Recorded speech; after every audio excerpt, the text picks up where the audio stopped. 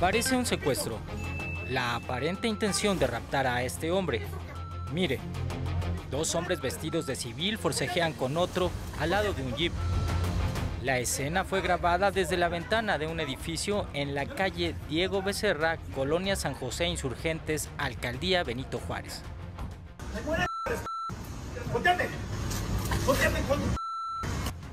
El hombre de camisa azul no opone resistencia. Sin embargo, el de negro con ayuda de otro con camisa rosa le hace palanca en el brazo para forzar a que gire. Lo empujan contra la carrocería del auto y luego intentan tirarlo al piso. ¡Al piso! ¡Al piso! ¡Al piso! ¡Al piso!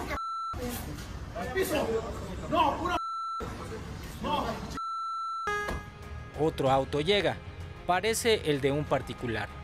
Interviene un tercer sujeto también vestido de civil. No logra abrir la puerta en un primer momento. Tiene que regresar a desactivar el seguro. Y regresa.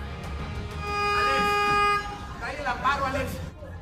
Entre los tres, empujan al hombre de azul para meterlo a los asientos traseros, mientras dos hombres más se acercan con aparente afán de preguntar a dónde lo llevan. El momento llegó a la red social X.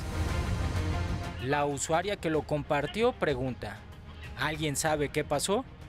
Es la propia Fiscalía General de Justicia de la Ciudad de México quien responde. Se trató de una colaboración con la Fiscalía de Jalisco para cumplimentar una orden de aprehensión por la probable comisión del delito de fraude. Sin embargo, no informa por qué los agentes actuaron con violencia, no estaban plenamente identificados, usaron un auto sin logos y no permitieron al detenido mostrarles un amparo contra la detención. ¡Cae el amparo, Alex! ¡Cae el amparo de Jalisco! Con uno, Ricardo Rivera.